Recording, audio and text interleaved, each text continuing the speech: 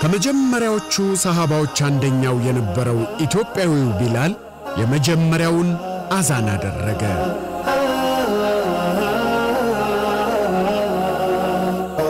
እኛም ለሥራቸው ታታሪ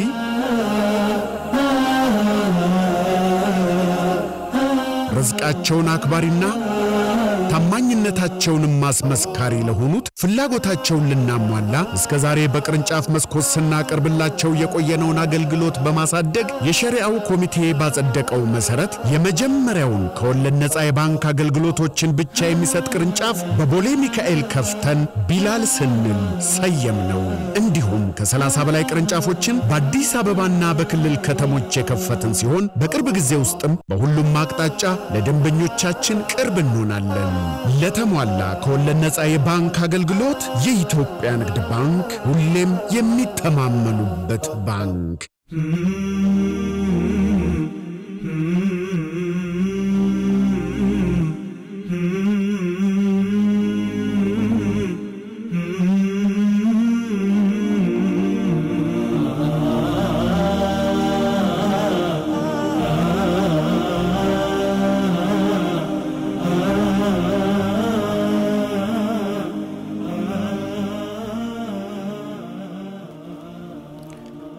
السلام عليكم ورحمة الله وبركاته.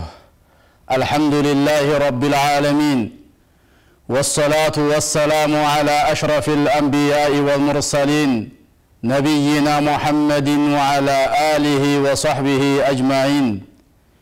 كبراننا كبرات وندمهتوش يا أفريكا تيفي تكتاتايوش الفتاوى بتسنيو بروغراماتشن تغنايتنال ከእናንተ የሚነሱ ጥያቄዎችን በተቻለ መጠን መልስ ለመስጠት ኢንሻ አላሁ ተዓላ በአሁኑ ሰዓት ዝግጁ ነን። ያው የተለመደ ሰዓታችን ነው። ቅዳሜ፣ እሁድ፣ ሰኞ፣ ማክሰኞ በአሁኑ ሰዓት እንገናኛለን ቢኢዝኒላህ ጀለ ወዓላ።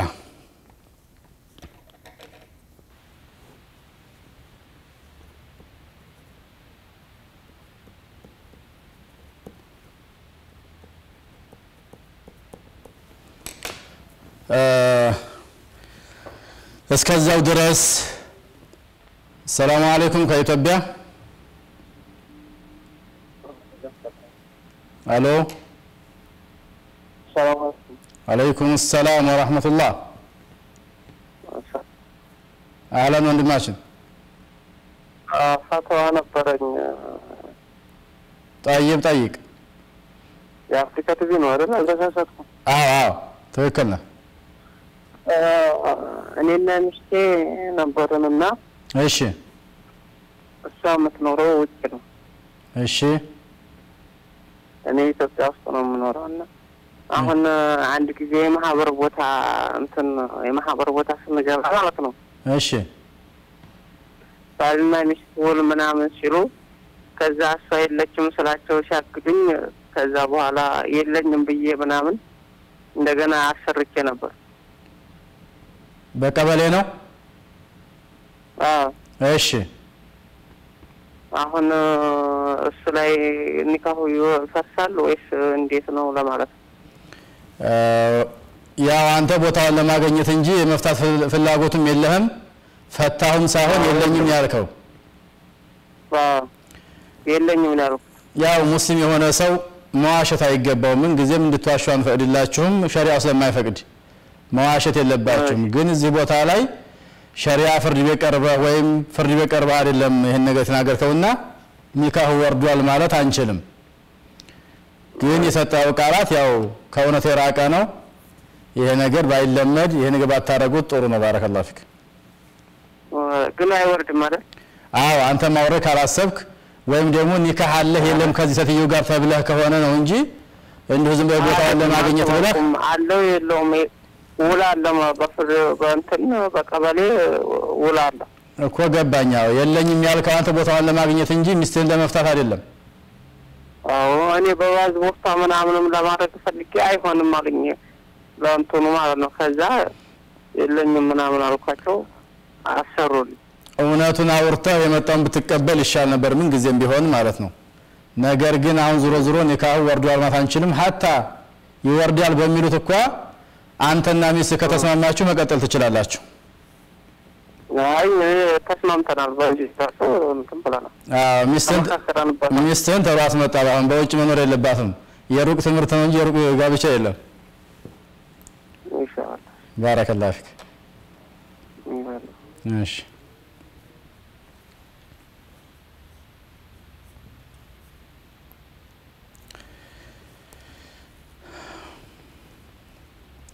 ጠይብ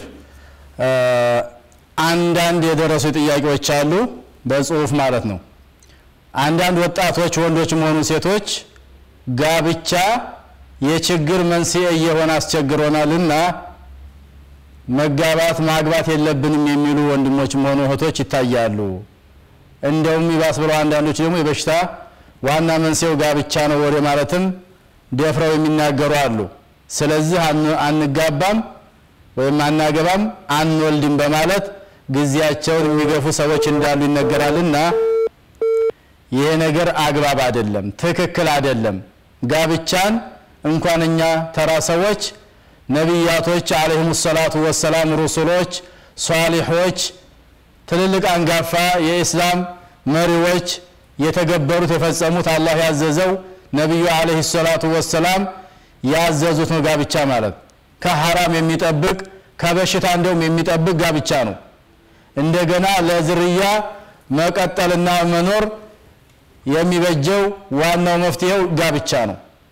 ስለዚህ መስፈርቱን አሟልታችሁ አግቡ እንጂ በሽታ ወይም ችግር መሰናክል የሚያመጣው ሌላ ስነ ምግባራችን ጥሩ ያልሆነ ስነ ምግባር ሲኖር እንጂ ጋብቻ ሊያመጣ አይችልም። ችግር ነው የምንለው ጥቅም ነው የሚያመጣው። ስለዚህ ነቢዩ ዓለይሂ ሰላቱ ወሰላም ተዘወጁል ወዱድ አልወሉድ ፈኢኒ ሙካፊሩን ቢኩሙል ኡመም የውመል ቂያማ አው ፈኢኒ ሙካፊሩን ቢኩሙል አንቢያ የውመል ቂያማ ብለዋል።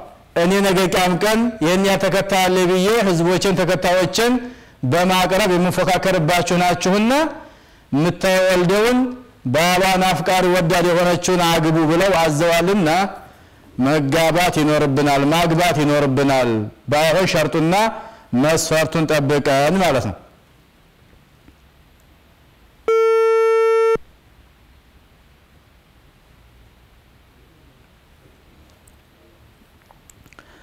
ሌላው የቀረበ ጥያቄን አሁንም አንድ ወንድማችን تزوجوا الودود الولود ሲባል እንሰማለን ይለኛል። نعم ሰላም አለይኩም። አለይኩም ሰላም። አፍሪካ ቲቪ አዎ ጥያቄ ለመጠየቅ ነበር ቀጥይ እህታችን እ ቀጥይ። እሺ አባት የተወለደ ልጅ ሀላል ባልሆነ የተወለደ ልጅ ማለት ነው። በማን ስም ነው የሚጠራው? የአባቱ ስም እንደምንሰማው ከሆነ አባቱ አይደለም። ስለዚህ በማን ስም ነው መጠራት ያለበት? በወለደችው ነዋ በእናቱ? በእናቱ ዒሳ ብኑ መርየም ያ በእናቱ መጠራት የሚችለው እሱ ነው ያለው ነገር። አለዛ በእናቱ አባት ከሆነ እንጂ ሌላ መጠሪያ ያለው? ያለ ኒካህ የወለደ አባት አባት አይደለም። በማን ለማንኛውም ያለ ኒካህ የሚወልዱ ሰዎችን አላህን ፈሩ ነው የምንላቸው፣ ወንዶችም ሆኑ ሴቶች። ልጁ ላይ ወንጀል የለም። ችግሩ ያለው ወላጆቹ ላይ ነው።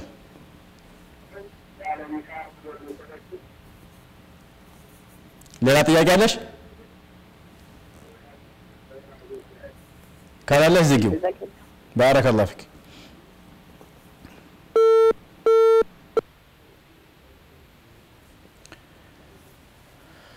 እና ወንድማችን ያቀረበው ጥያቄ ምንድን ነው? ወላዷን አግቡ ሲባል የማትወልድ ያለመውለዷ የተረጋገጠ ሴት አለችና እሷን ማግባት አይቻልም ወይ ወይስ ይቻላል የሚል ነገር ነው። ይሄ ማለት በላጩ የምትወልደውን ማግባት ነው። ልጅ ለማርባት ልጅ ለመውለድ የምታስችለው እሷ ነች ማለት እንጂ የማትወልደውን አታግቡ ማለት አይደለም። የማትወልደውም ልትገባ ይቻላል። ያው ለማግባት ሁለታችሁ ለመጋባት ዝግጁና ፈቃደኛ እንዲሁም የሚከለክል ነገር ከሌለ አለመውለዷ ወላድ አለመሆኗ ጋብቻም ሀላል ከመሆን የሚከለክለው ነገር የለም። ግን የሚበልጠው ወላዷን ማግባት ነው ነው።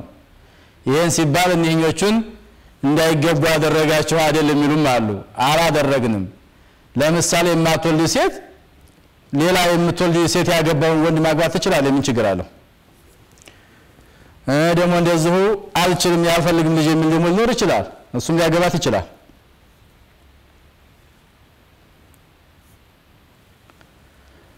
ጠይብ ሌላው ምንጊዜም ሁላችንም ልናውቀው የሚገባው ነገር የሁለመናው የዒባዳችን መነሻ መሰረታችን የአቂዳ የተውሂድ ጉዳይ ነውና የላኢላሃ ኢለላህን ትርጉም ጠንቅቀን ማወቅ ይኖርብናል። ላኢላሃ ኢለላህን ከአንድ አላህ በስተቀር ፈጣሪ የለም በሚል አይነት ትርጉም የሚረዱ ይታያሉ። ከወንድም ሆነ ከሴት ማለት ነው። ፈጣሪማ ያለ አላህ ፈጣሪ እንደሌለ ሁሉም ያውቃል። እንደ ምናልባት ነፍስያው ያሸነፈችው ካልሆነ በስተቀር ይህን ሁሉም ጠንቅቆ ያውቃል። ማንም ሲፈጥር አላየም ከአላህ በስተቀርና ማለት ነው። መፍጠር አቅቶታል ሁሉም።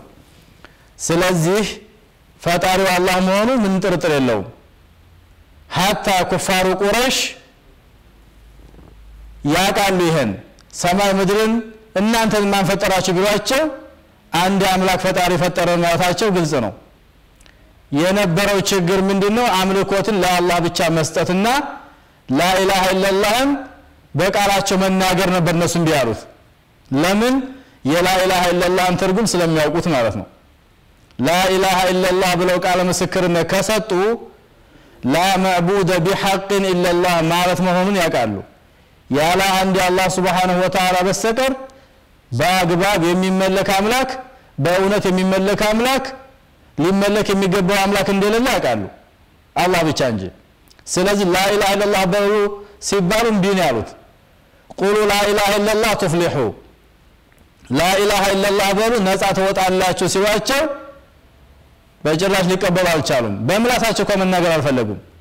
ይህን ካሉ ፍሬ ሀሳቡን ተግባራዊ ማድረግ ስለሚጠበቅባቸው አምልኮትን ለአላህ ብቻ መስጠት ስለሚገባቸው የሚያመልኳቸውን ጣዖታቶች ወደ መጣልና መርሳት መጥላትም ስላለባቸው ይህን ያውቃሉ። አጀዐለ ልአሊሀተ ኢላሃን ዋሒዳ ነበር ይሉ የነበረው። ብሎ ብሎ ደግሞ አምላክን አንድ ብቻ ነው አለ እንዴ? ስንት አማልክቶችን ደርድረን ጉዳዮቻችን አልፈጸም እያሉ እርሱ ደግሞ አንድ ጌታን ተገዙ ይለናል እንዴ ነበር የሚሉት እያሾፉ። አዎ ሰማይ ምድርን የፈጠረ እናንተን ካልነበረ ያስገኘው አምላክ ሊመለክ የሚገባው እርሱ ብቻ ነው የሚለው አላህ ሱብሓነሁ ወተዓላ። ጠይብ ስለዚህ ላኢላሃ ኢለላህ ትርጉሙ ያለ አንድ አላህ ሱብሓነሁ ወተዓላ በስተቀር በአግባብ የሚመለክ አምላክ የለም ማለት ነው። የሚሰገድለትም ሆነ የሚጾምለት፣ የሚታረድለት፣ የሚሳሉለት፣ ድረስልኝ የሚሉት ጉዳይን አውጣልኝ፣ ቸግሮኛል ድረስልኝ የሚባለው አላህ ሱብሓነሁ ወተዓላ ብቻና ብቻ ነው። ከዛ ውጭ ላለ አካል ያለኝን ችግር ይረዳኛል፣ ያቅብኛል ወይም ያቅልኛል ተብሎ ሊፈራ ሊመለክ ድረስልኝ ሊባል አይገባውም።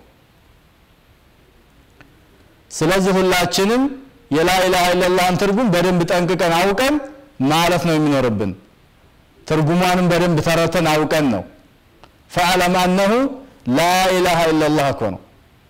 ከአንድ አላህ በስተቀር በትክክል የሚመለክ አምላክ አለመኖሩን እወቅ ነው መጀመሪያ። እውቀት ነው የሚቀደመው። ከዛ በኋላ ደግሞ ወስተግፊር ሊዘንቢከ ነው። ለወንጀሎችህ ምሕረት ከእሱ ከአላህ ሱብሓነሁ ወተዓላ ከአንዱ አምላክ ጠይቅ፣ ፈልግ፣ ለምን የተባል ነው። ከኢትዮጵያ ሰላም አለይኩም። አሎ ተቋርጧል። ስለዚህ እውቀት ይቀድማል። ለማወቅ ወደ ኋላ እንበል፣ ነገ ዛሬ አንበል። በተለይ በተለይ የተውሂድ ጉዳይ፣ የአርካነል ኢስላም ጉዳይ፣ የአርካነል ኢማን ጉዳይ ጊዜና ሰዓት የሚሰጠው አይደለም። እውነት ሙስሊሙ ህብረተሰብ ሙሉ በሙሉ ላኢላሃ ኢለላህ ትርጉሙን ያውቀዋል ወይ? أركان الإسلام ን ጠንቅቆ ያውቃል ወይ? أركان الإيمان ን ጠንቅቀን እናውቃለን ወይ? በቋንቋችን ማንኛውም ሰው በራሱ ቋንቋ የላኢላሃ ኢለላህን ትርጉምና أركان الإسلام የኢስላም ማዕዘናት ዋና ዋና የሚባሉ የኢማን ማዕዘናት የሚባሉትን ያውቃሉ ወይ? አንዳንዱስ በቁጥርም አያውቅም። أركان الإسلام ስንት ነው ቢባል የምናውቀው ጥቂቶች ነን። ጥቂቶች ናቸው የሚያውቁት በቁጥር እንኳ ራሱ። ስለዚህ የ لا إله إلا الله ትርጉም ማለት أركان الإسلام ና أركان الإيمان ጠንቅቆ ማወቅ ነው። ስለሆነ أركان الإسلام አምስት ናቸው። أركان الإيمان የኢማን ማዕዘናት ስድስት ናቸው፣ ዋና ዋናዎቹ ማለት ነው። አለዛ ኢማን بضع وسبعون شعبة የተባለው ሰባ ከምናምን ቅርንጫፍ ዘርፍ ያለው ነው። ኢማን ሰፊ ነው በጣም አዕላሃ ላኢላሃ ኢለላህ ወአድናሃ ኢማጠቱ ልአዛ አን ጠሪቅ ነው ያሉት። የኢማን ትልቁ ላኢላሃ ኢለላህ ነው ዋናው ጫፉ። ዝቅተኛ የሚባለው ደግሞ ከኢማን ቅርንጫፍ ወይም ከኢማን ዘርፍ ኢማጠቱ ልአዛ አን ጠሪቅ ከመንገድ ላይ ቆሻሻን፣ እንቅፋትን፣ እሾህን፣ ብርጭቆ ስባሪ ነገሮችን ማንሳት ኢማን የሌላቸው ሰዎች እምነተ ደካማ የሆኑ ሰዎች ቆሻሻን ነገር አምተው መንገድ ላይ ሲጥሉ ነው የምናያቸው። ሁን ብለው ሰውን ለመረበሽ እሾህ ነገር፣ ብርጭቆ ነገር፣ የሆነ ነገር ሲጥሉ ነው የሚታየው። ከቤት ያስጠላቸው ነገር አውጥተው መንገድ ላይ ይጥሉታል። እቤት የረበሻቸው የተወሰኑ ሰዎችን ነው። ውጭ ግን መንገድ ላይ ሁሉም በዚያ ያለፈውን ሁሉ ነው። አያችሁ። ስለዚህ ነቢዩ አለይሂ ሰላቱ ወሰላም ህብረተሰቡን ሲያስተምሩ ኢማንና ኢስላምን ሲያስተምሩ ከዚሁ ጋር ተያይዞ የሰፈርን ጽዳት፣ የቤትን ጽዳት፣ የውስጥን ጽዳት፣ የውጭን ጽዳት ነው ያስተማሩት። እስልምና ለጽዳት ትልቅ ቦታ ይሰጣል። አጣሁሩ ሸጥሩል ኢማን ንጽህና የኢማን የእምነት ገሚስ ነው ይላል። በመሆኑም ንጽህናችን ከሽርክ፣ ንጽህናችን ከኩፍር፣ ንጽህናችን ከቢድዓ የራቀ መሆን አለበት። ቢድዓ ስንል መሰረተ ቢስ የሆነ እምነቱ ላይ ዲን ላይ መሰረት የሌለው ነገር ማለታችን ነው። ሽርክ ስንል አምልኮትን ለአላህ ብቻ መስጠት ሲገባን አሳልፈን ለሌላ አካል መስጠት ማለታችን ነው። ኩፍር ስንል ክህደት ስንል ደግሞ የአላህን አምላክነት መካድ ማለት ነው። የነቢዩን አለይሂ ሰላቱ ወሰላም ነብይነት መልእክተኛነት መካድ ማለት ነው። የአንድን ነብይ መካድ በሁሉም ነብይ እንዳለማመን ነው የሚወሰደው። በሁሉም ነብያት አምኖ አንድ በአንድ ነብይ አላምንም ካለ ከሃዲ ነው የሚባለው ማንም ሆነ ማን። በነቢዩ ሙሐመድ ሰለላሁ ዐለይሂ ወሰለም ጠንቅቆ ያምናል፣ ኢሳን አይቀበልም፣ የኢሳን መልእክተኝነት አይቀበልም፣ ወይም የሙሳን መልእክተኝነት አይቀበልም ከተባለ ከሃዲ ነው የሚባለው። ስለዚህ ተውሂድ ላይ ትኩረት እንስጥ። ብዙዎቻችን እንደው ተውሂድን ነገር እንደ ቀላል ነገር ነው የምናየው። አልፎ አልፎ አንዳንድ ኢባዳዎችን ብቻ ብናደርገው ዋጋ የለውም። መሰረቱ ዋናው ተውሂድ ነው፣ አቂዳ ነው። አላህ ድረስልኝ ከማለት ይልቅ ሸዎቹ ድረሱልኝ የሚለው በዝቷል። ኑር ሁሴን ድረሱልኝ የሚለው በዝቷል። ከዛም አልፎ የማይለማ የማይሰማውን ቆሌ አድባሩ የእናቴ ጀበና እስከ ማለት ድረስ በርካቶች ይታያሉ። ጀበና ለራሱ ከእሳት ያልዳነ እኛን ይጠብቃል ብሎ ማሰብ ስህተት ነው። ከሱዑዲ አሰላሙ አለይኩም አህለን እህታችን። አፍሪካ ቲቪ አዎ ጥያቄ ነበረን። እሺ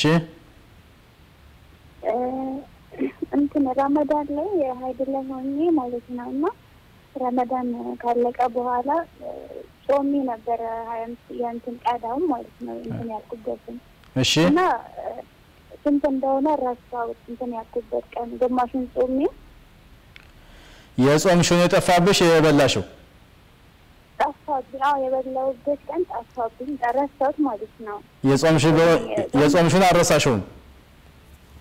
እ? እሺ እና ረስቼው ነው ምንድን ነው ማድረግ አለብኝ? طيب። ላስታውሰው ብቻ። ረመዳን ላይ የወር አበባ ሆነሽ በልተሻል። ምን ያህል ቀን እንደበላሽ ነው የጠፋብሽ? አዎ ማወቂያ አንድ ዘዴ አለው።? የምታቂበት ምን ያህል ቀን እንደበላሽ የምታቂበት ልንገርሽ። አይ እንደ normally ሶስት ቀን አራት ቀን ነው፣ ግን ያን ቀን ረስቼው እኮ ልነግርሽ እኮ ነው እሱን በአዘቦቱ የወር አበባ የምታይበት ቀን አራት ቀን ከሆነ አራት ቀን በልተሻል ማለት ነው። ሶስት ቀን ከሆነ ሶስት ቀን በልተሻል፣ በዚህ ይታወቃል። አንድ ምናልባት ሶስት ቀን ሊሆን ይችላል፣ አራት ቀን ሊሆን ይችላል የወር አበባ የሚመጣው እና የዛን ጊዜ ምን ያህል እንደሆነ ረሳሁት የበላሁበት ከሆነ አንድ ቀን ጨምሪ፣ ያ ያጠራጠረሽን ቀን ጨምሪና አውጪው። እውነት በልተሽ ከሆነ ቀዷ ሆኖ ይገኝልሻል። አይ የዛን ቀን ጾመሽ ነበር፣ አሁን ደግሞ ድጋሚ ቀዷ አውጥተሽ ከሆነ ትርፍ ጾም ይሆንልሻል። ችግር የለውም ችግር የለውም። ሀታ ሶላ ስንሰግድ ሶስት ነኝ አራት ረካ ላይ የሰገድኩ ካል ምንድን ነው የምናደርገው? ከሶስት ነው የምንነሳው። አራት የሚለውን እንተወዋለን። አሁንም ጾም ላይ ሶስት ቀን የበላሁት አራት ቀን ካልሽ አራት ቀን ብለሽ ምትዩ የተማመንሽውን ነው ምትዩ። የሚያጠራጥሩን አታያዥ። ሁለተኛ ጥያቄ ደግሞ የተፈታች ሴት ሀይዷን እንትኗን ዒዳዋን ሶስት ወር ከአስር ቀን ነው ሶስት ወር ብቻ ነው ሀይዱን ማየት ያለባት። ተፈታ ነው ተፈታ ያኔ ሌላ እንትን ለማለት ከፈለገች ሶስት ወር ሀይድ ማየት ነው ያለባት ወይስ ሶስት ወር ከአስር ቀን ነው? لا لا ይለያያላ። ዒዳ ሲባል አንድ የተፈታች ሴት የወር አበባ የምታይ ከሆነ ሶስት የወር አበባ ነው የምንለው። በሀያ አምስት ቀን በሁለት ወር ከሀያ አምስት የምትጨርስ በሁለት ወር ከሀያ የምትጨርስ አይመለከተንም። ሶስት የወር አበባ ከተፈታች በኋላ ጀምራ ሶስት የወር አበባ መጨረስ አለባት። ይቺ የወር አበባ ለምታየው ነው። የወር አበባ የማታይ ከሆነች ደግሞ ዘጠና ቀን ወይም ሶስት ወር ማለት ነው።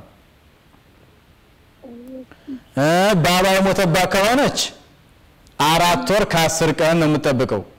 በዚህ ቀን ውስጥ የወር አበባ መጣም አልመጣም አራት ወር ከአስር ቀን ትቆያለች።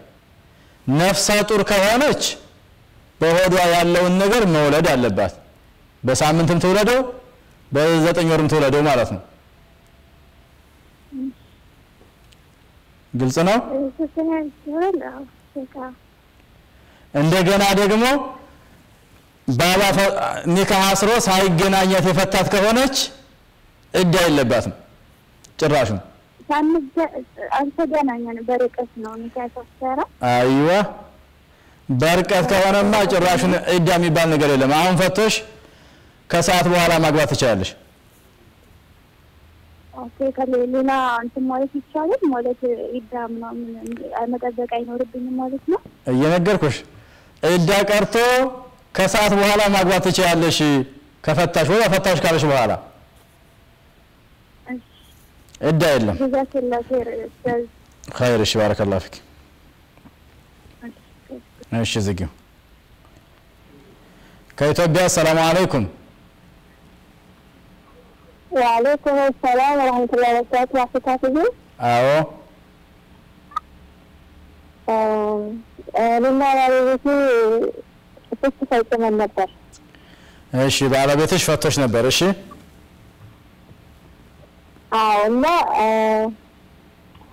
ይፈታል የኔ ኒካህ ወይንም የሀቅ እንትን ነበር እና ያንን በአጋጣሚ ሳንቲም ስላልነበረው አፉ ብዬ ያው ነፍሴን በነሀሬ ገዝቻለሁ አልኩ። ነፍሴን ከዚያን ያው ኒካችን ያው እጃዬን ጨርሼ ቢያንስ አምስት ወር ሆኖኛል እጃዬን ከጨረስኩ ማለት ነው። እሺ እናም በዛም ታይም ያው እመልሳለሁ ብመልስ ምናምን ይላል እሱ ማለት ነው። እኔ ግን ነፍሴን በመሀሪ ገዝቻለሁ ብያለሁ። ከዚያም ደግሞ መሀለልም ደርሰናል ብዬ ራሴ ገምታለሁ። እሱ ግን መሀለልም አልደረስንም። እሳችን በየት ጊዜ ነው ፈታውሽ አንድ ፍች ይቀረኛል የሚለው ጠይብ መህሬን ትቸልሃለሁ ስትይው እሺ መርሃባ ብሎ ተቀበለ ሰውየው? አዎ አዎ ተቀብሏል። ጠይብ አንድ ሰው ባልሽ ነው ባሉ ሚስቱን ሲፈታ መህሩን ትቸልሃለሁ ፍታኝ፣ እሺ መርሃባ መህሩን ከተውሽልኝማ ፈትቼሻለሁ ካለ በገንዘብ ፈታ ነው የሚባለው።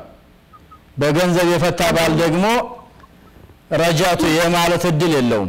የመመለስ እድል የለውም። ዕዳ ላይ እያለሽ አሁን አንቺ ዕዳን ከጨረስኩ አምስት ወር ነው የምትይው። ዕዳሽ ካለቀማ ጭራሽን አይችልም። ዕዳ ላይ እያለሽ መረጃቱ ማለት አይችልም። ባይሆን በአዲስ ኒካ ሊያገባሽ የሚከለክለው የለም። ከአባትሽ እንደገና ወይም ከወንድምሽ በአዲስ ኒካ ማሰር ይችላል ከተስማማሽ። ስለዚህ ማግባት ይችላል ሰው አንቺ ሌላ ሰው ማግባት ትችያለሽ ፍላጎቱ ካለሽ። አይ የማውቀው ይሻለኛል ከተመለሰልኝ እስካልሽ በአዲስ ኒካ ልታገቡ ትችያለሽ። በረጃቱ መልኩ ግን አይቻልም። ረጃቱ ማለት ዕዳ ላይ እያላችሁ ነው።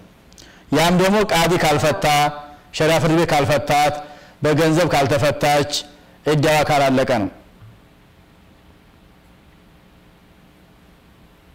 መርሓባ ጀዛኩም ላሁ ኸይር እሺ፣ ባረከላሁ ፊኪ። ዝጊው።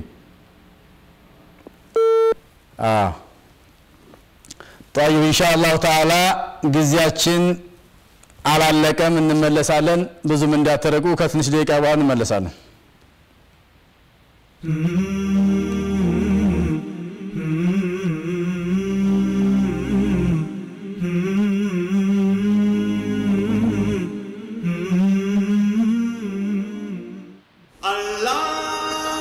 ከመጀመሪያዎቹ ሰሃባዎች አንደኛው የነበረው ኢትዮጵያዊው ቢላል የመጀመሪያውን አዛን አደረገ።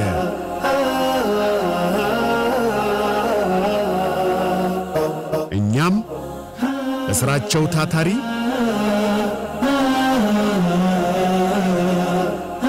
ርዝቃቸውን አክባሪና ታማኝነታቸውንም ማስመስካሪ ለሆኑት ፍላጎታቸውን ልናሟላ እስከ ዛሬ በቅርንጫፍ መስኮት ስናቀርብላቸው የቆየነውን አገልግሎት በማሳደግ የሸሪዓው ኮሚቴ ባጸደቀው መሰረት የመጀመሪያውን ከወለድ ነፃ የባንክ አገልግሎቶችን ብቻ የሚሰጥ ቅርንጫፍ በቦሌ ሚካኤል ከፍተን ቢላል ስንል ሰየም ነው። እንዲሁም ከ30 በላይ ቅርንጫፎችን በአዲስ አበባና በክልል ከተሞች የከፈትን ሲሆን በቅርብ ጊዜ ውስጥም በሁሉም አቅጣጫ ለደንበኞቻችን ቅርብ እንሆናለን። ለተሟላ ከወለድ ነፃ የባንክ አገልግሎት የኢትዮጵያ ንግድ ባንክ ሁሌም የሚተማመኑበት ባንክ። ባንካችን የኢትዮጵያ ንግድ ባንክ ከወለድ ነፃ የባንክ አገልግሎት በተጠናከረ መልኩ መስጠት ጀመረ። የኢትዮጵያ ንግድ ባንክ በሸሪያ የ financing መርሆች ላይ የተመሰረተ ከወለድ ነፃ የባንክ አገልግሎት በተጠናከረ መልኩ መስጠት መጀመሩን ስናበስሮ በደስታ ነው። አንቱ የተባሉ የሸሪያ ምሁራንን ዶክተር ጄላን ክድር፣ ሼህ መሐመድ ሐምዲን፣ ተባባሪ ፕሮፌሰር ኑር አብዲ፣ ዶክተር መሐመድ ዘይን ኑር ሁሴንና ኡስታዝ አወል አብዱል ውሃብ በበላይነት አገልግሎቱን እንዲቆጣጠሩ ሰይመናል። ያለ ትርፍ ባደራ የሚያስቀምጡበት የወዲዓ ቁጠባ ሂሳብ፣ ትርፍ ለሚፈልጉ ደንበኞቻችን ሙዳረባ የኢንቨስትመንት ቁጠባ ሂሳብ፣ ለኢንዱስትሪ ግብዓቶች፣ ለንብረት ወይም ዕቃ ግዢ፣ ለወጪና ገቢ ንግድ፣ ለፕሮጀክት፣ ለኪራይ አገልግሎቶች፣ ለእርሻ ልማት፣ ለሁሉም የንግድ አይነት የብድር ፍላጎቶን የሚያሟላ የሙራባሃ financing አገልግሎት፣ ለኤክስፖርተሮች ልዩ የቅድመ ጭነት financing አገልግሎት፣ ለሁሉም የባንክ ዋስትና አገልግሎቶች ካፋላ። የቤት ባለቤት መሆን ለምትፈልጉ ኢትዮጵያውያንና ትውልደ ኢትዮጵያውያን በጉጉት ሲጠበቅ የነበረው ከወለድ ነፃ የቤት መግዣ ብድር አገልግሎት በቀዳሚነት መስጠት ጀምረናል። በውጭ ምንዛሪ በሚከፈት ሂሳቦ ቅድሚያ 20 በመቶ ይቆጥቡ፣ ያለ ወለድ የቤት ባለቤት ይሁኑ። የኢትዮጵያ ንግድ ባንክ ሁሌም የሚተማመኑበት ባንክ።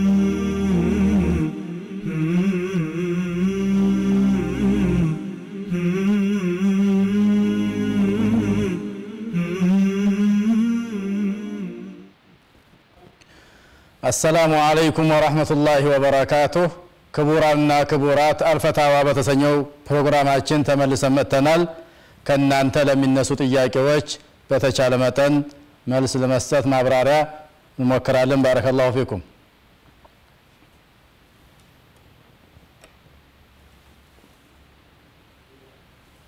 ከሱዳን አሰላሙ አለይኩም።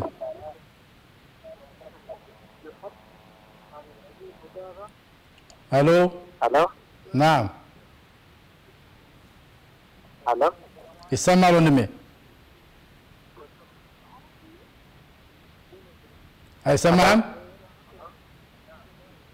አለይኩም ሰላም ቲቪውን ዝጋው፣ ቲቪውን ቀንሰው፣ አሎ ቲቪውን ዝጋና በስልክ አዳምጠ። እሺ ይሰማል ይሰማል ቀጥል።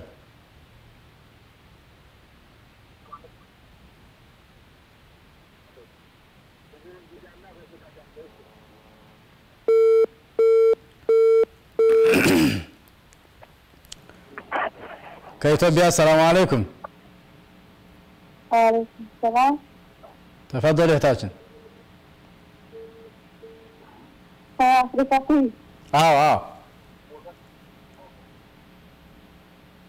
ሰላም ናችሁ? አልሐምዱሊላህ። ደህና ናችሁ? አለን ሰላም ነው። ሰላም ነው። እንደ ባሌ ጋራ ተጣልቼ ማለት ነው እሺ ካገባኝ ሀያ አመቴ ነው። ቤት አድርጎልኝ ጋብቻ በአንድ ላይ አልመሰረቱ ነፃ አያወርድም እያለ ሁለቱም ልጅ ወልዶልኝ ነበረ። እሺ ጅቡቲን አብረን ሰርተን ጅቡቲን አብረን ሰርተን ሶስት መቶ ሺህ የጅቡቲ ገንዘብ ከዳኝ። ከዛ ሸሪዓ ፍርድ ቤት ላይ ሰብሰብኩትና ማለት ነው ከዛ ክርክሩ አላበቃም አለኝ። እስካሁን ድረስ በጣም አስቸገረኝ። እንዴት ነው ከተለያየን አምስት አመታችን ነው። ረመዳን ኒካ ወርዷል አላወረደም አላወረድም። አንቺ እየጠየቅሽ ያለሽው ንብ- ንብረትሽን ነው ወይስ ኒካሁን ነው እኔ ንብረቱ ቢቀርም ምንም ችግር የለኝም። ያው ንካውን ብቻ ነው የምጠይቀው። ስለዚህ አዳ ይህን ያህል ጊዜ እንዴት ይፈጃል? ወደ ሸሪያ ፍርድ ቤት ነው የሄድሽው ወይስ ወደ መንግስት ፍርድ ቤት ነው? ወደ ሸሪዓ ፍርድ ቤት ትወርኩኝ። አሁን አምስት ወር ጨርሼ ስድስተኛ ወር ጀመር ምን እያሉ ነው የሚመልሱሽ? እዚህ ጋር ያላሟላሽው ነገር ካለ እንጂ ከወር ሁለት ወር በላይ የሚፈጅ ነገር አይደለም። ግፋ ቢል ሰውየው አልቀርብ ብሎ ከሆነ የማስቀረብ ግዴታ ይኖርባቸዋል። ማስቀረብ የማይችሉ ከሆነ አልቻልንም ብለው መናገር አለባቸው። አልቀረበም። እሱ ነበርና ማለት ነው እሺ ወኪል የለውም ወንድሞቹ አሉ እና እነሱ እሱን አያገኙትም፣ አይነጋገሩም። ይነጋገራሉ እሱ ጋራ እሺ አሁን ያው መጥቷል ይባላል። የሚመጣው ሮብ እነዚህ ቅረቢ ይሉኛል ቤተሰቦቼ ማለት ነው። እሺ ግን ለእኔ ጉዳዩ ይፈጸምልኛል አይመስለኝም ሳየው ማለት ነው። በጣም ይከብደኛል። ይኸውልሽ አሁን ልቅ የገንዘቡ ጉዳይ ምስክር ያስፈልገዋል። እውነት ከርቶሻል ወይ አልከዳሽም ወይ ምስክር አለ የለም ወይ የሚል ነገር ይኖራል። ግን ከርቶሽም ከሆነ ለጊዜው ምስክር በማጣትሽ ቢበላውም አላህ ሱብሓነሁ ወተዓላ ዘንድ ገንዘብሽ እንደሆነ ስለሚመዘገብልሽ አታጩም። ገንዘብሽ ከሆነ ካልሆነም አታገኘውም። ወንዶችም አላህን ሊፈሩ ይገባቸዋል። ሴቶችም አላህን ሊፈሩ ይገባቸዋል። የማይመለከታቸው የማይገባቸው ነገር ይገባ በምስክር ቢያረጋግጡም የማይገባው ነገር አይገባቸውም። ሸሪዓ ፍርድ ቤትም ሆነ ማንኛውም ፍርድ ቤት ቢወስንላቸው ገንዘብ ሊሆን አይችልም። ኒካህሽን በተመለከተ ይሄ ገንዘቡን ነው። ኒካህሽን በተመለከተ እዚህ ሰውዬ ጋር መቀጠል አልችልም፣ ምክንያቱም አያስተዳድረኝም ወይም በቂ የሆነ ችግር አለበትና ከዚህ ከዚህ አንጻር አይሆነኝም ብለሽ ወደ ሸሪዓ ፍርድ ቤት ካመለከትሽ ያ ሸሪዓ ፍርድ ቤት ያንን ሰው የማስቀረብና ሀሳቡን ተቀብሎ ውሳኔ የመስጠት ግዴታው ነው። ይህን የማይፈጽሙልሽ ከሆነ ወደ ከፍተኛ ፍርድ ቤት ሄደሽ ሸሪዓ ፍርድ ቤትም ከፍተኛ ስላለው መጠየቅ ይኖርብሻል። ምናልባት ነገሩን ቦታ አልሰጠው ብለው ከሆነ ወይም ሌላ case ካለው እንግዲህ አይታወቅም። والله أعلم። ለማንኛውም ሸሪዓ ፍርድ ቤት አልቀርብም ብሎ እምቢ ካለ ያው ፖሊስም ቢሆን አስገድዶ የማምጣት ካልቻሉ ደግሞ አንቺ ላይ ውሳኔ የመስጠት ግዴታ ይኖርባቸዋል። እኔ ገንዘቡ ያው በጣም ፍላጎቱ የለኝም። በኒካህ ሀበሰው ካገባኝ ሀያ አመቱ ነው። ሁለት ልጅ ወለድኩለት። አብረን ስድስት አመት ጅቡቲ ሰራ። ሶስት መቶ ሺህ የጅቡቲ ገንዘብ ሰዳኝ። አራት ክፍል ቤት ሰራበት። በሽማግሌ ስንቀርብ ያምናል። በኋላ ደግሞ አላውቅም ይላል። እኮ እሱን ካላ ታገኘዋለሽ። ከቻልሽ በምትችው ፍርድ ቤት ተቀበይ ገንዘብሽን። ካልቻልሽና ካልሰጠሽም በአላህ በኩል ታገኘዋለሽ። ችግር የለውም። እሱ ነው የሚጎዳው፣ አንቺ አትጎጅም። የልጆችሽ አባት ነው። ብዙም ደግሞ ችግር አትፈልጊለት። ግን ኒካህሽን ወይ በአንድ ፊቱ መያዝ አለበት አንቺን ከተስማማችሁ፣ ካልተስማማችሁ ደግሞ መልቀቅ አለበት። ከሁለት አንዱ ነው ከአንዱ የሚጠበቀው። እኔ እና እሱ አንስማማና አንግባባም። እኔ እና እሱ ገንዘቡን ቢቀር ንሳህን አውርድልኝ እባክህ ላላህ ብሎ እኮ ካልተግባባችሁ እሱ ያለሽ እድል። መጨረሻ ውሳኔሽ ፍርድ ቤት ላይ ነው እህታችን መፍትሄ የምታገኘው፣ ወይም ከቤተሰቦቹ ወይም ከቤተሰቦችሽ ነው። እንደውም አርድሻለሁ እያለ እያስፈራራኝ ከጀቡቲም ከቀረሁ ራሱ አምስት አመቱ ነው ማለት ነው። እሱ ፈርቼ ማለት ነው። ይሄማ ባል አይደለም ያገባሽው። አርድሻለሁ ካለ ባል አይደለም ያገባሽው፣ ሌላ ነው። አሁንም ራሱ ሰው ቤት እየሰራሁ ነው ያለው። በኒሳ በጣም ዘለመኝ ሀበተ ብዬ ነው እንጂ ስለገንዘቡ አላሽ ከሱዳን ሰላም አለይኩም። አለይኩም ሰላም ሼህ نعم الحمد لله والله إن شاء الله ሰላም ናቸው። አልሐምዱሊላህ አልሐምዱሊላህ ወላሂ ኢብራሂም አቶም እባላለሁ። ኢብራሂም አህመድ أهلا وسهلا። نعم እሺ ጥያቄ አለኝ ሼህ እሺ፣ ቀጥል። ጥያቄ ከማዘር ጋር በሆነ ግጭት በቃ ተጣልተን ማለት ነው እሺ እና አፉታ የለኝም ከአሁን በኋላ በሞት መቃብሬ መቃብሬ እንዳትቆም የሚል ጥያቄ አቅርባልኛለች። ይህ ነገር እንዴት ነው? በምን ምክንያት ምክንያቱ ነው የሚወስነው? ምክንያቱ ወላሂ አልሐምዱሊላህ ሚስት አለችኝ ልጆች አሉኝ እና ከሚስቴ ጋር ግጭት ያው ከሚስቴ ጋር ተጣልታ በቃ ከአሁን በኋላ እናንተ ጋር አልሆንም ብላ ከእህቴ ጋር ሂዳ ከእህቴ ጋር ተቀምጣለች እና በአንዳንድ ነገር እቃ ከቤት ይህን እቃ ማትወሰጅብን ምናምን ምክንያት አይ ወስደዋለሁ ከአሁን በኋላ እኔ ራሱ ብሞት ከአሁን በኋላ መቃብሬ እንዳትቆም የሚል ጥያቄ አቅርባልኛለች። ይህ ነገር እንዴት ነው? አንደኛ ወላጆች ትልቅ ቦታ አላቸው። አላህ ሱብሓነሁ ወተዓላ ወቀዷ ረቡከ አላ ተዕቡዱ ኢላ ኢያህ ወቢልዋሊደይኒ ኢሕሳና ነው የሚለው የአላህን ሀቅ አክብሩ ብሎ ካዘዘ በኋላ ከአንድ አላህ በስተቀር ሌላ ምንም ነገር እንዳታመልኩ አላህ ወስኗል አዟል ካለ በኋላ የወላጆችን ጉዳይ ማደራ ለወላጆቻችሁ ማሳመርን አሳምሩ፣ በጎ መስራትን በጎ ስሩ፣ ጥሩ ነገርን ዋሉላቸው ነው የሚለው። የወላጆች ጉዳይ ጸጋቸው፣ ውለታቸው ተዘርዝሮ የሚያልቅ አይደለም። ነገር ግን አንተ እያሟላህ ማድረግ ያለብህ ነገር እያደረክ ያለ አግባብ ችግር የሚፈጥሩ ከሆነ ወላጆች በሚገባቸው በሚቀርባቸው በእህቷ ሊሆን ይችላል፣ በወንድሟ ሊሆን ይችላል፣ በሚቀርባት አንተ እንደ ያሳምናታል በምትለው እናትህን የማሳመን ስራ ስራ። ሚስትህ ይቅርታ እንድትጠይቃት አድርግ። አጥፊታይቱ እናትህ ብትሆንም አጥፊ ነሽ አትበላት። አጥፍቻለሁ ንብረታቸው ሁሉም ያንቺ ነው፣ ምንም ችግር የለም ትበላት፣ ችግር የለውም። እና ለእናት ይሄ ነው መሆን ያለበት።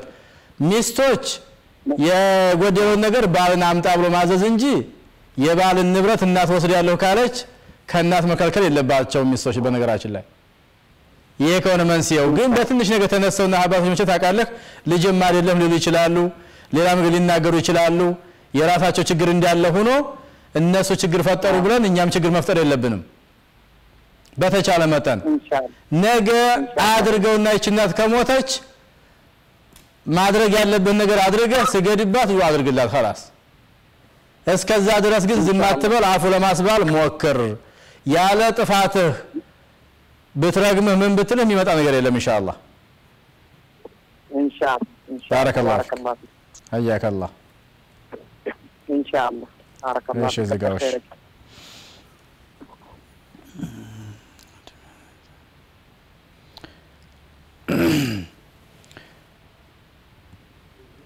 ከኢትዮጵያ ሰላም አለይኩም።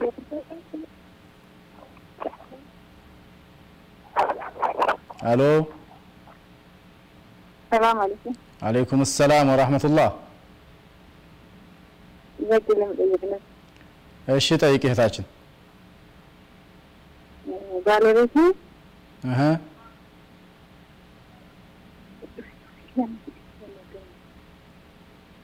ቀጥይ እሺ ባለቤቴ በሶስት ፈትቼሻለሁ ብሎኝ ማለት ነው። አንድ ጊዜ ሶስቱን ፈታዎች ነው ያለሽ? አይ በአንድ ፈትቼሻለሁ፣ በሁለት ፈትቼሻለሁ፣ በሶስት ፈትቼሻለሁ ብሎኝ እሺ። እና አሁን ደግሞ መልሶ ሽማግሌ እየላከ ካልገባሽ ምናምን እያለኝ ነበር። እና ይህ እንዴት ይታያል? ፈታሁሽ ማለት አልፈታሁሽም ማለት ነው እንዴ? አማርኛ በሱ ዘንድ እንጃ ችግር የለውም ጠይቄያለሁ መግባት አለብሽ ብሎ አለ። አይሆንም ምናልባት ኡስታዝ ቢሆን አይለውም አንዱን ፍች ፈትቼሻለሁ ሁለተኛውን ፍች ፈትቼሻለሁ ሶስተኛውን ፍች ፈትቼሻለሁ እያለ እንዲህ በዝርዝር ከሆነ የፈታው ኡስታዝም አይለውም። ምናልባት አንድ ጊዜ ሶስቱን ፈታዎች ብሎሽ ከሆነ አንዳንድ ኡስታዞች አዎ ሊመልስሽ ይችላል፣ አንድ ኒካ ነው የሚወድቀው ሊሉሽ ይችላሉ፣ ወይም ሊሉት ይችላሉ። እኮ ኡስታዞችን ስጠይቅ እንደዛ ነው ያለ። እኮ አልኩሽ አጠያየቁ ነው። ሰው ራሱን ታሞ እግሬን ታመምኩ ካለ ሐኪም የሚመረምረው እግሩን ነው እንጂ ራሱን አይመረምረውም። አነጋገሩ እንዳንቺ አይደለም። አሁን ሰው የጠየቀው ማለት ነው። ሶስቱን ብዬ አንድ የፈትቻት ነበር ሚስቴን አሁን ልመልሳ ፈለግኩኝ ምን ይሻላል ካለው አንዳንድ ዑለማዎች አንድ ኒካ ነው የሚወርደው ስለሚሉ በዛ ኺላፍ ፈቷ ሊሰጠው ይችላል። ነገር ግን ጅምሁር ዑለማ አንዴም ቢሆን ሶስቱን ፈታሁ ካለ ሶስቱም ይወድቃል ነው የሚሉት። ይሄን ይዞ መሄድ ነው የሚሻለው እዚህ ቦታ ላይ። ስለዚህ የመመለስ እድል አይኖርሽም ማለት ነው። አንዳንዶች ደግሞ ይሄም አይቻልም መመለስ ሶስቱን ፈታሃል ሲባሉ ሙሐለል የሚሉት ነገር አላቸው፣ ወይም ሙሐለል ይሉታል። አንድ ጓደኛውን አምጥቶ ለተወሰነ ጊዜ ሚስቱን ድሮ ከዛ በኋላ ፍታ ብሎ አስፈትቶ እዳውን ስጨርስ ሊያገባ ማለት ነው እንደገና። ይሄም ሐራም ነው። ለዓነ ላሁ ልሙሐሊለ ወልሙሐለለ ለሁ ነው የተባለው። እንድትበቃ ብሎ ኒካህ የሚያስረውም ኒካህ የሚታሰርለትን ባል አላህ ከእዝነቱ አራቀ ወይም ያርቀው ተብሏል። ሐራም ነው፣ አይቻልም። ይሄም ጠንቅቆ ምላሱን መያዝ ነው መጀመሪያ እንጂ ከምላሱ ከወጣ በኋላ ከወጣና ከፈታ በኋላ አለቀ ነው። ሶስቱን ከፈታ ባረከላሁ ፊክ። እሺ እዚህ كسودان السلام عليكم. آه، أنا بتحدث باللغة العربية. طيب تكلم. ممكن أتكلم آه، أسأل آه، بالعربي؟ ما تكلم الأمهري. سلام الرحمة. إيش؟ طيب. كيف الأخبار؟ الحمد لله أهلا وسهلا بك. الحمد لله. أنا حابب أسأل باللغة العربية وأسمع الرد باللغة العربية. طيب. تمام. آه، بس أنا على وشك الأيام الجايه أنا مقبل على الزواج. مقبل على الزواج طيب؟ آه بس عايز أسأل من الحفلات حفلات الزفاف آه، التي يغنوا لها. طيب. حفلات الزفاف آه، والقريبه مثلا يعون في إقامة الحفلات في الزواج. حفلات الزفاف. هذه هي سنه ام بدايه ماذا تريد؟ طيب؟ آه، أريد أن أسأل آه، رأي الدين الإسلامي في الحفلات التي تقام حفلات الز- الزفاف والمغنيين والمطربين. طيب. خلاص؟ نعم نعم هذا السؤال فقط. الزواج سنة من سنن الأنبياء والمرسلين. نعم. وكذلك الوليمة أو العرس؟ سنة من سنة الأنبياء. نعم. زواجك مما يرغب به. ينبغي أن تختار زوجة صالحة تصلح لك ولدينك. نعم.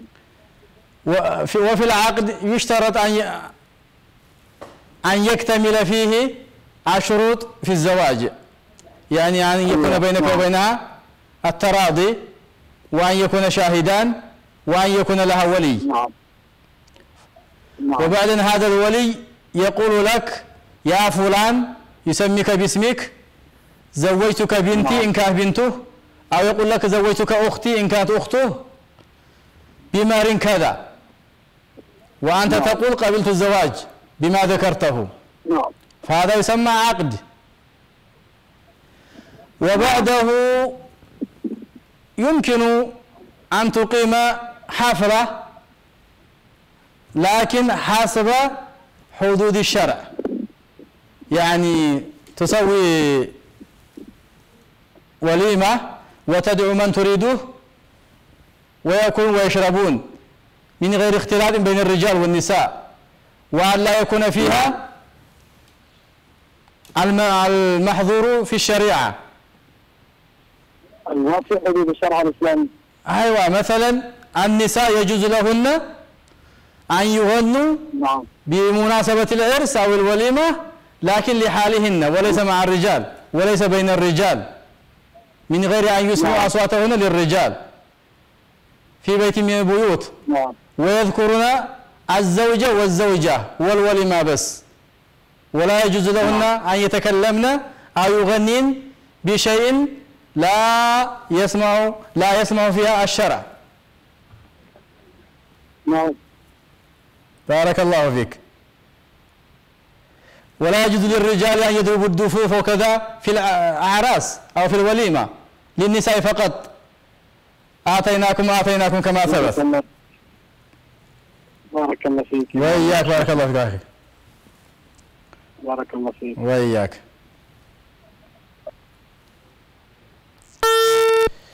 ጠይብ አንድ ወንድማችን ያነሳው ጥያቄ አለ በጽሁፍ። አንዳንድ ሰዎች ኒካህ ያስራሉ ኒካህ ያስራሉ ከሚስታቸው ጋር ግን ገና ሰርጉ ገና ነው እቤቷ አላመጣትም ቤተሰቦቿ ጋር ያለችው። በአጋጣሚ ሆኖ ለሆነ ነገር ወደ ሆነ ቦታ ሊሄዱ ይፈልጋሉ። ለሆነ ሆነ ነገር ሊሄዱ ይፈልጋሉ። ይቺ ሚስቱን ይዞ መሄድ ይችላሉ። ያው ሚስቱ ናት። ኒካህ እስካሰረ ድረስ ሚስቱ ነች። ለብቻቸው ሄዱ ከሰው ጋር ሆነው ሄዱ ወጡ ገቡ ችግር የለውም። ኒካህ ካሰረ በኋላ እጮኛ ሁና ኒካህ ሳይታሰር ነው ይዟት ሊወጣ አይበቃም የምንለው እንጂ ኒካህ ካሰረ በኋላ ሚስቱ ናት። ሰርጉ ተሰረገም አልተሰረገም? ከሰርግ በፊትም ሆነ ከሰርግ በኋላም ሆነ ሚስቱ ሚስቱ ነች። እጮኛ ከሆነች ግን ኒካህ ያላረፈባት ከሆነ ላ። ደግሞ አንዳንዶቹ ኒካህ ሲባል ቀለበት ብቻ ማሰር ይመስላቸዋል። ቀለበት ማጌጥ ነው ከኒካህ በኋላ የሚመጣ ነው። ኒካሁ ታስሮ ነው ቀለበት ሊያስርላት የሚችለው። ወይም ደግሞ ቀለበቱን ሰጥቷት ራሷን የምታስገባው ኒካህ ሳያስር ከሆነ። ከኒካህ በኋላ ከሆነ እሷው ራሷ አስገባችው እሱ አስገባላት ችግር የለው ስለዚህ እጮኛ የሚለውንና ሚስት የሚለውን ነገር መለየት አለብን። ሰርግ አለመሰረጉ አይደለም መሰረጉ አይደለም ለውጡ። ኒካህ የሚለው ነገር ነው አቅድ የሚባለው። ከልት ልጅ ለአቶ ከል ለሚስትነት አጋብቻለሁ ተቀብያለሁ የሚለው ነገር ብቻ ነው ዋናው ኒካህ የሚባለው። ምስክር ባለበት።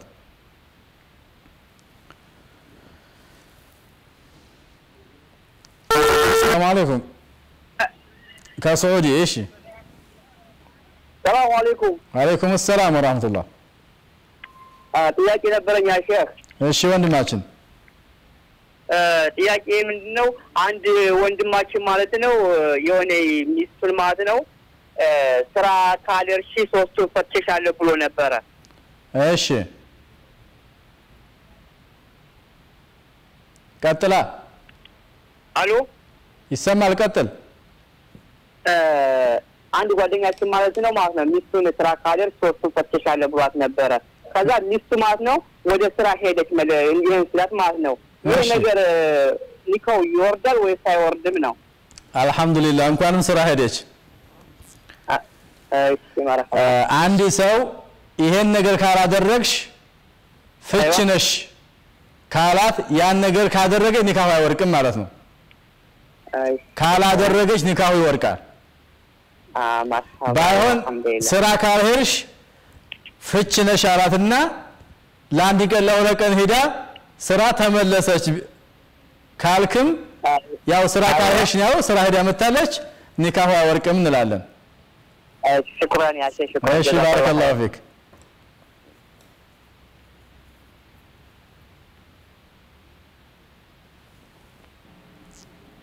ከኢትዮጵያ ሰላም አለይኩም።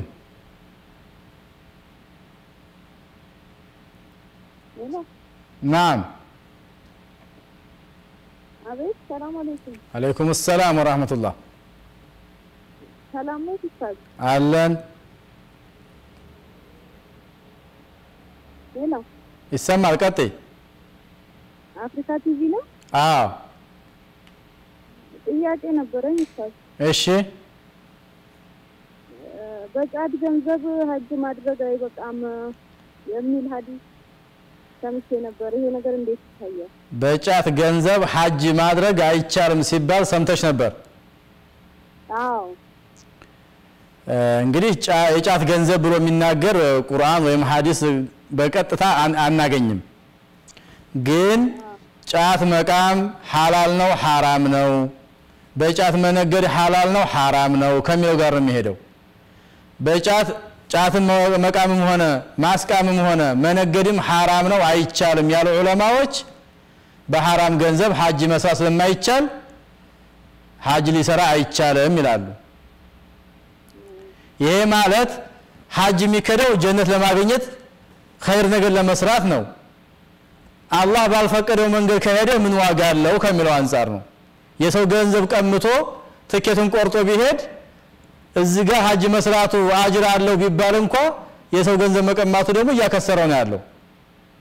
በመሆኑ ኪሳራ ነው። ሐጅ እኳ ቢቻል አይሆንም ነው የሚሉት ዑለማዎች። ለምን? በሐራም ገንዘብ ስለሆነ ሐራም ሰርቶ ሐላል ለማምጣት አይቻልም ነው የሚሉት። ስለዚህ ያው ከአደንዛዥ የቆጠሩት ሰዎች በአጠቃላይ አይሆንም ስለሚሉ መራቁ ነው የሚሻለው፣ ይቅርባችሁ ነው። ባረከላሁ ፊኪ። እንግዲህ ኢንሻአላህ የዛሬው ጥያቄያችን እያለቀ ይመስለኛል ፕሮግራማችን። ወሰለላሁ ወሰለመ ዐላ ነቢይና ሙሐመድን ወዐላ አሊሂ ወሰሕቢሂ አጅማዒን። ወሰላሙ ዐለይኩም ወረሕመቱላሂ ወበረካቱሁ።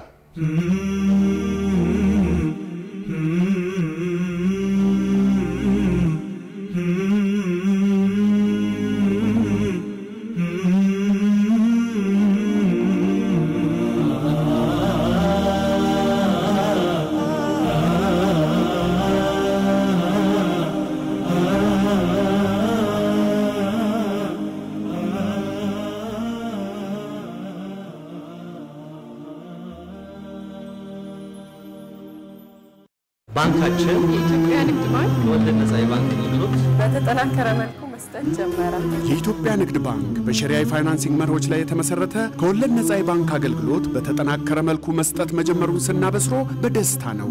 አንቱ የተባሉ የሸሪያ ምሁራንን ዶክተር ጄላን ክድር፣ ሼህ መሐመድ ሐምዲን፣ ተባባሪ ፕሮፌሰር ኑር አብዲ፣ ዶክተር መሐመድ ዘይን ኑር ሁሴንና ኡስታዝ አወል አብዱል ውሃብ በበላይነት አገልግሎቱን እንዲቆጣጠሩ ሰይመናል። ያለ ትርፍ ባደራ የሚያስቀምጡበት የወዲዓ ቁጠባ ሂሳብ፣ ትርፍ ለሚፈልጉ ደንበኞቻችን ሙዳረባ የኢንቨስትመንት ቁጠባ ሂሳብ፣ ለኢንዱስትሪ ግብዓቶች፣ ለንብረት ወይም ዕቃ ግዢ፣ ለወጪና ገቢ ንግድ፣ ለፕሮጀክት፣ ለኪራይ አገልግሎቶች፣ ለእርሻ ልማት፣ ለሁሉም የንግድ አይነት የብድር ፍላጎቶን የሚያሟላ የሙራባሃ financing አገልግሎት፣ ለኤክስፖርተሮች ልዩ የቅድመ ጭነት financing አገልግሎት፣ ለሁሉም የባንክ ዋስትና አገልግሎቶች ካፋላ።